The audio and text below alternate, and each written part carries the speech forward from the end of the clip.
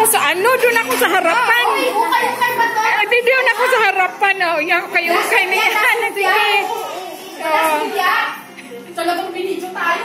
oh. Das lumpia ba to? Das lumpia. Sa mga anak nila, mostly kasi ano. Uy, bigyan mo rin si ano, si... Hindi, tinitignan natin yung size. Kasi maliit pa yung anak niya. Oo, kasi pag ganun. Ito pwede pa sa anak ko yata to eh. Hiwalay mo na yung para sa anak mo.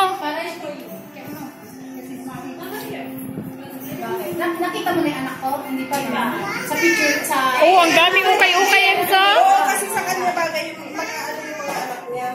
Dalawang babae sa akin eh. Ako babae. Oo. O, dalawa. May Oh, pair mga yung ano, YouTube buntis. may pair yung yung Ayan na, ayan na, mayroon pa. May pair yan na jogging pants. Kasi ito isang pants pang girl or boy. Kasha, malaki. Oh, yan, kasya pa sa anak mo yan. Ito shorts o pang Sa boy. anak ni ano, anak ni Lika. boy. Sa anak ni Lika. Boy. Sabi ko. Ay, hindi na yan kasha sa anak. Sa anak ni Lika, ilagay mo na lang. Oh, sige. Sa anak ni Rika daw. Pero ilang, ilang, ano lang to, ilang years na sa anak mo yan, sis, okay na. Kasi parehas mo naman yan eh.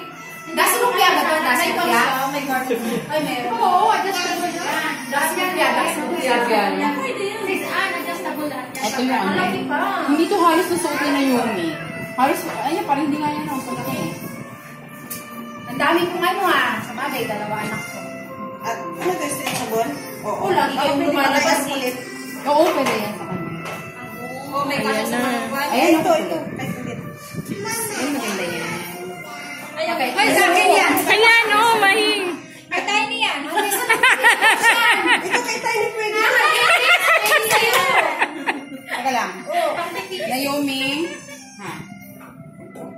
Where is she? Ito malaki Ayan, kay, kay ano, kasya. pa yata to. Trisha. Ayan, kay Tricia yan. Tricia yan. Hindi na kasya.